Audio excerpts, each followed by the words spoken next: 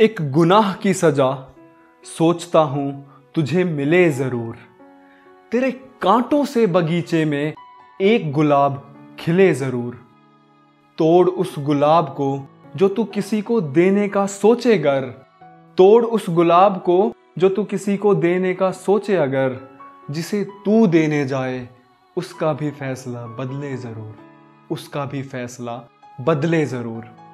एक शायर जो अभी मशहूर नहीं हुआ है, उसने क्या खूब कहा है, मोहब्बत की कद्र करो। नसीब सबको हुआ नहीं करती, इस जमाने में।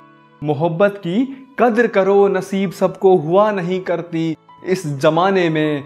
धोखा दो तो दिल से दो, ये मत कहना कि हुआ सब अनजाने में। कभी बस एक घंटी बजने पर ही फ़ोन उठा लिया करती थी। मेरे मैसेज के पहुँचने से पहले ही रिप्लाई कर दिया करती थी। फ़ोन की स्क्रीन पर मेरी तस्वीर लगा, घंटों निहारा करती थी। अक्सर मुझसे बात करते करते फ़ोन को चालू रख वो सो जाया करती थी। कसूर खुद करना और कसूरवार किसी और को ठहराना, ये हुनर भी खैर बस कुछ ही लोगों के पास होता है। बैंक के खाते में जैसे जैसे पैसों पर ब्याज लगकर पैसे बढ़ते जाते हैं। ये समझो कि मैं एक बैंक और पैसा तुम्हारी यादें। बस दिन प दिन बढ़ती जा रही हैं, बढ़ती जा रही हैं, बढ़ती जा रही हैं। पर अब पर अब सब बदल गया है।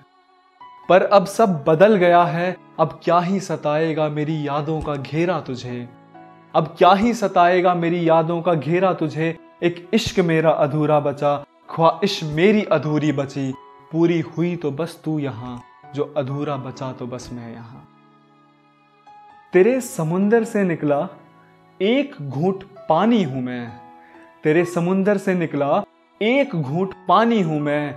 जो रेत तर से पानी से भींगने को समुंदर किनारे, वो रेत हूँ मैं। कितना जलाता है सूरज इस रेत को, पर जब तू भिंगोए तो सुकून सा आ जाता है।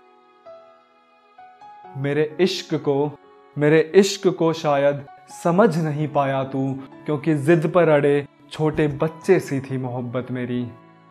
क्योंकि जिद पर अड़े छोटे बच्चे सी थी मोहब्बत मेरी। मैंने मैंने जिस जिस को अपनी कहानी सुनाई, वो सुनकर रो दिया है। मैंने जिस जिस को अपनी कहानी सुनाई, वो सुनकर रो दिया है। कभी सोचना लिखने वाले को उसने कितना दर्द दिया है।